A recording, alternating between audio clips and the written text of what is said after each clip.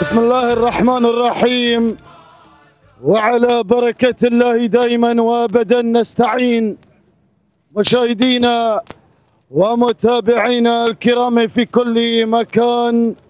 نجدد بكم التحية والترحيب من جديد لتعلن انطلقت في هذه اللحظات.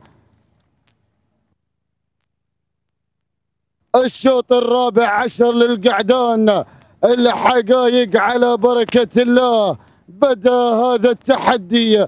انطلقت الشعارات والأسماء مباشرة مع الصدارة ليتابع في هذه اللحظات من تحتل الصدارة نظرة مع المركز الأول أحمد بن حمد بن مبارك بن رغش الشامسي يقدم لنا شعاره بينما الدور دور المركز الثاني لأتابع في هذه اللحظات الانطلاق والحضور.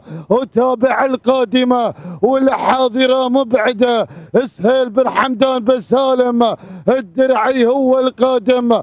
أيضا الوصول أتابع انتباهية القادمة راشد بن عبيد بن عبد الله بن حليس الوهيبي والقادمة أيضا أتابع القدوم والحضور من الوثبة راشد بن خادم بن راشد المهيري يقدم لنا شعاره هكذا هي النتيجة العودة من جديد إلى مقدمة الشوط إلى المركز الأول إلى نظرة أو هنا من تحتل الصدارة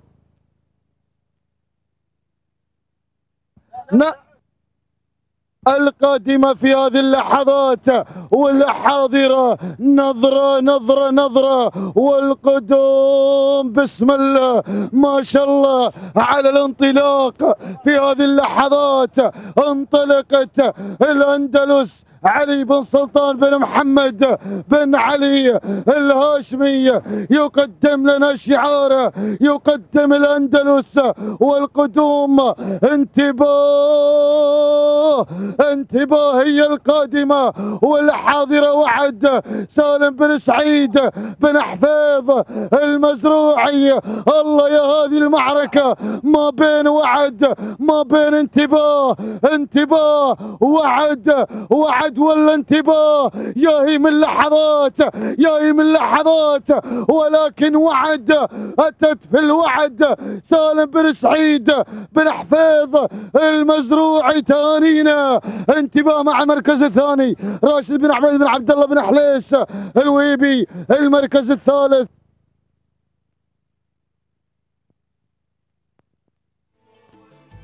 وصلت مع المركز الثالث رياسة رامس بن محمد بن ضبيب العامري والمركز الرابع. المركز الرابع كانت متابعينا الكرام الأندلس علي بن سلطان بن محمد بن علي الهاشمي والمركز الخامس. المركز الخامس وصلت هملولة سعيد بن هلال بن سعيد الأعفاري. إذا تانينا والناموس لمالك وعد.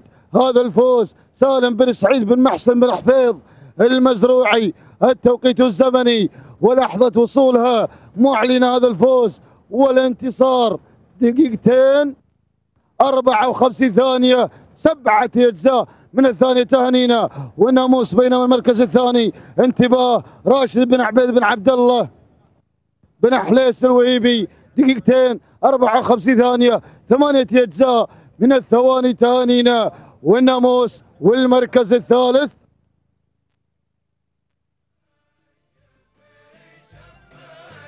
المركز الثالث كانت متابعينا الكرام. رياسة رامس بن محمد بن ضبيب العامري توقيت الزمن دقيقتين 56 ثانية أربعة أجزاء من الثانية.